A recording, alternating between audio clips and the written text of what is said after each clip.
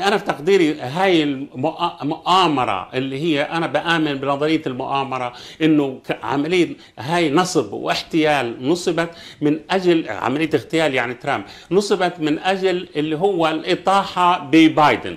الدولة الأمريكية العميقة قررت تطيح ببايدن.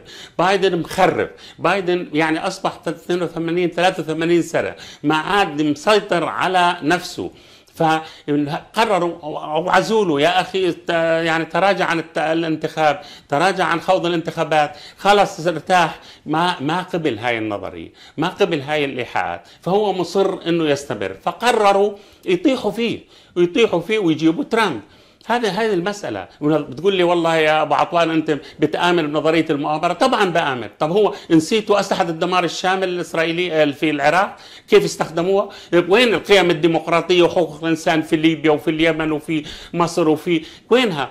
استخدمت كمان بشكل بهدف تدمير الدول العربية تدميرها بالكامل. وهذا اللي حصل وهذا اللي بيصير. فالآن هاي نظرية تآمرية بدهم يطيحوا بايدن ويجيبوا ترامب. أمريكا مقدمة على حرب أهلية. الأمريكا غابت سلاح. أمريكا الآن فعلا فعلا في عملية كراهية غير عادية وفي انقسامات غير عادية. فأنا تقديري هاي كلها بدهم يحولوا ترامب إلى شهيد وبدهم يعززوا مكانته في الانتخابات ويطيحوا ببايدن المريض المخرف اللي ما عاد مسيطر على لسانه على كلامه. بدي أختم بسوريا. حقيقة يا إخوان يعني في اللي هو أردوغان الآن كل يوم بيحكي إنه هو بده يرجع العلاقات مع سوريا. وإحنا صارت عائلة واحدة وإحنا عائلة واحدة. فإيش اللي بصير بالضبط؟ سوريا تتعافى. حقيقة سوريا تتعافى. سوريا في مرحلة تغيير ومرحلة تنظيف. ويعني ليس كل ما يعرف يقال.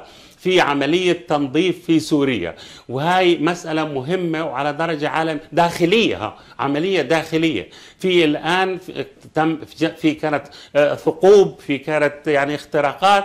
في الآن عملية تنظيف لسوريا من كل اللي هم كانوا في الفترة الأخيرة متورطين في أعمال كثيرة أعمال تجسس أو غير تجسس وأنتم أنتم تعرفون ما أنا ما أقوله أردوغان أيضا في حالة انهيار غير عادية. يعني لما بيشوف اللي هو المعارضة اللي دعمها وساندها على مدى اللي هو ال 13 سنة اللي فاتت أو أكثر هذه كلها يعني واضح أنه أدرك بأنه في عنده أربع ملايين وفي عنده أربع ملايين لاجئ سوري وفي عنده اللي هو الحركة القومية وهي حركة قومية عنصرية ما بدها سوريين على الإطلاق بدها تطردهم كلهم.